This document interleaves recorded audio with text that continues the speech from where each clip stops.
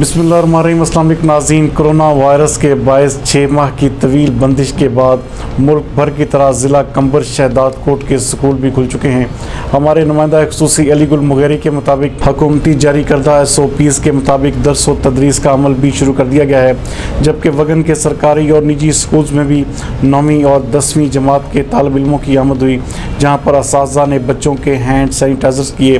Class room में भी नशस्तें फासला रख कर की गई। तालीमी सरगर्मी के पहले रोज़ बच्चों की हाजिरी मामूल से इंतहाई ज़्यादा कम रही। एक और ख़बर शामिल करते हैं वगन से ही, जहाँ पर वगन के नज़दीकी गाँव खैर खान जतोई के रहायशी अल्लाह भंड सरताज अहमद भंड इमदाद अली भंड। और दीगर ने अवामी प्रेस क्लब वगन पहुँच कर प्रेस कॉन्फ्रेंस करते हुए कहा कि वगन थाने का S H O Sadiq Abbasi हम गरीबों का जीना हराम कर रहा है और हमें बिला वजह तंग करता है।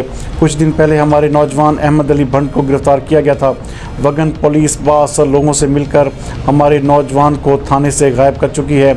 हमें शुभ है कि हमारे नौजवान को वगन पुलिस भारी रिश्वत लेकर बासर लोगों के हवाले करके कत्ल न करवा दे। हमने S H O Sadiq Abbasi की ज़्यादतियों से तंग आकर कोर्ट में जाकर एस एच ओ वगन के right hand A S I Nadir Bhangar के खिलाफ भी पटिशन दाखिल करवाई है। हम I G Sindh D I G Larkana S S P Kambar Imran Qureshi से मुतालबा करते हैं कि खुदारा इस ालिम रिश्वत खोर एस एच ओ से हमारी जाँच छुड़वाई जाए।